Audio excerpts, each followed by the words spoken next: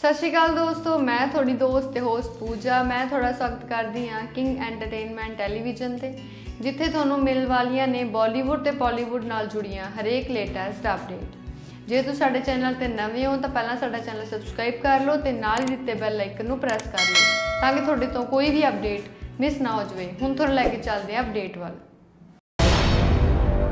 ਇਹ ਅਪਡੇਟ ਸਾਨੂੰ ਦਿੱਤੀ ਗਈ ਪੰਜਾਬੀ ਸਿੰਗਰ ਲਾਲੀ ਪਟਿਆਲਵੀ ਵੱਲੋਂ, ਜਿਨ੍ਹਾਂ ਨੇ ਆਪਣਾ Song ਅਨਾਉਂਸ ਕਰ ਦਿੱਤਾ ਹੈ ਜਿਸ ਦਾ ਟਾਈਟਲ ਹੈ ਗੋਡ ਗਿਫਟਡ ਜੋ ਆਪਾਂ ਕ੍ਰੈਡਿਟਸ ਦੀ ਗੱਲ ਕਰੀਏ ਤਾਂ ਇਹ Song ਨੂੰ ਲਿਖਿਆ ਤੇ ਗਾਇਆ ਗਿਆ ਹੈ ਲਾਲੀ ਪਟਿਆਲਵੀ ਵੱਲੋਂ।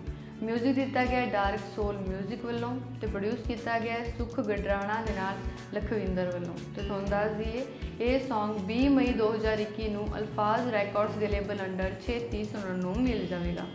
ਸੋ ਕਿਵੇਂ ਲੱਗੀ ਤੁਹਾਨੂੰ ਸਾਡੀ ਅੱਜ ਦੀ ਅਪਡੇਟ ਸਾਨੂੰ ਲਾਈਕ ਕਮੈਂਟ ਐਂਡ ਸ਼ੇਅਰ ਕਰਕੇ ਜਰੂਰ ਦੱਸੋ। ਤੇ ਨਾਲ ਦੀ ਨਾਲ ਸਾਡਾ ਚੈਨਲ ਸਬਸਕ੍ਰਾਈਬ ਕਰ ਲਓ ਤਾਂ ਕਿ ਤੁਹਾਡੇ ਤੋਂ ਕੋਈ ਵੀ ਅਪਡੇਟ ਮਿਸ ਨਾ ਹੋ ਜਾਵੇ। Thanks for watching and keep sharing